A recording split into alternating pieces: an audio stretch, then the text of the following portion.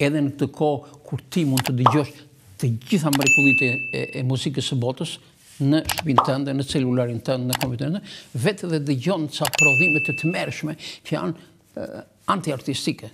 Dhe ne duhet të ushqejmë, unë mua më dhemb shumë, se unë dëgjoj vazhdimisht radion kur punoj, më dhemb shumë që stacionet tona japin shumë muzikë tallava.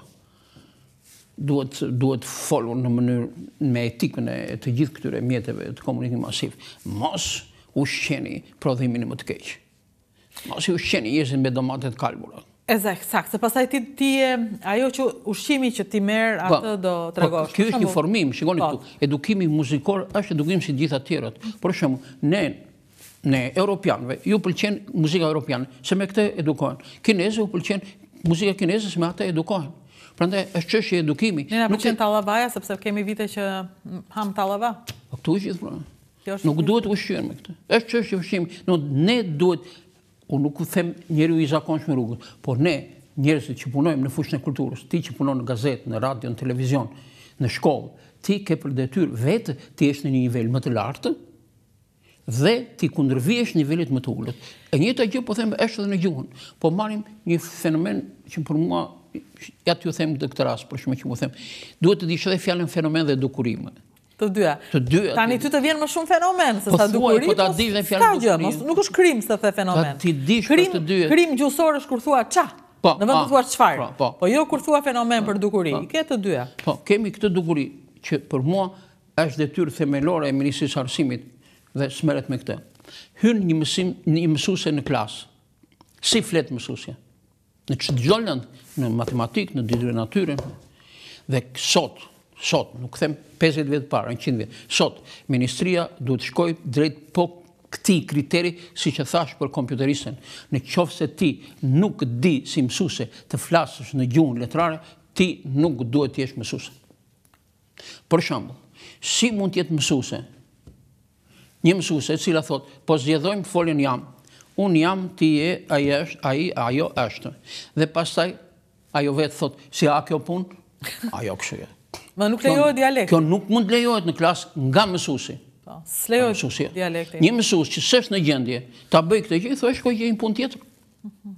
E po tani po marrin njerëz pavarësisht arsimit po i bëjnë mësues. E po këtu është gjithë problemi. Pra si shikoni, çështja shqetësimi për gjuhën nuk është se unë nuk kam kundërshtim me ata që marrin gazetën ose televizionin, gjejnë ca gabime atje thonë. Ore, problemi është shumë i thellë. Është te gjithë qëndrimi i kësaj shoqërie në të gjithë mekanizmat, organizmat e saj për këtë çështje shumë të rëndësishme që është identiteti i këtij kombi. Kujdesi është për të gjithë. Por them, kujdesi fillon në radhë të parë, te mjetet e komunikimit, fillon te shkolla, fillon te administrata. Të gjitha e kanë për detyrë. Kjo është mënyra për ta bërë gjuhën shqipe një mjet të rëndësishëm të komunikimit të shqiptarëve. Jo vetëm kaq, po po i them një diçka tjetër që Është e nevojshme të përcillet në mendjet e të gjithëve. Marrim një shqiptar që ikën nga Shqipëria dhe shkon në Gjermani. Ky shqiptar mund të shkojë në Gjermani duke qenë një njeri që flet vetëm dialekt ose duke qenë njeri që e di gjuhën letrare. Cila është e ardhmja e këtij njeriu? Ai që nuk njeh mirë gjuhën letrare, ai shkëputet nga kultura shqiptare. Kurse ai njeri, i cili njeh mirë gjuhën letrare, ai interesohet edhe për një roman në gjuhën shqipe dhe për një poezi. Mbase nuk u intereson që të interesohen, mbase duan dhe të shkëputen, duhet ta pranojmë këtë fakt. Por gjuha nuk të lë të shkëputesh. Gjuha, gjuha, gjuha. Gjuha e kulturës, gjuha e ndjenjave, gjuha e poezisë, po them ajo pasuri që mund të të kenë futur që në fëmijëri në kohë, ajo nuk të lejon të shkëputesh. Prandaj është nevoja e tregimit me dashuri të gjuhës që unë e dua gjuhën për shkak të nënës sime. Ajo ishte mësuese gjuhë-letërsisë, ajo më bëri të dua gjuhën. Ndryshe mbase nuk do isha kaq e dashuruar me shqipen dhe mbase nuk do nuk do shkruaja, se provoja të shkruaja, se e dua, shkruaj. Prandaj mbase secili e ka që në familje, pastaj qëllon dikush ka një mësues të mirë, dhe e do nga mësuesi. Mësuesi i mirë është një gjë shumë e rëndësishme. Është shumë e rëndësishme. Ndërkohë, më bën përshtypje që shqiptarët shqetësohen për gjuhën e tyre kur ia u shajnë të tjerët. Po. Për shembull, po, një vajzë që punon në Kadria që punon në Greqi për Dritaren, pa një shkrim dhe menjëherë e përktheu e nxori dhe dhe shkrujti sipër që ne do pyesim gjuhëtarët tanë a kanë të drejtë ata. Po. Unë u dërgova po. shkrimin dhe më bëri përshtypje. Po. Ne e botuam në, në Dritare. Gjithsesi, është një shkrim që mund ta shikoni, është botuar në një gazetë serioze greke për gjuhën shqipe. Po, e kam parë. Po, ju e patë? Po e kam parë. Dhe unë dua t'ju pyes për dy gjëra dhe mua më më bëri përshtypje. Ata thonë, Që Shqipja nuk ka lidhje me ilirishten. Po, e di. Po.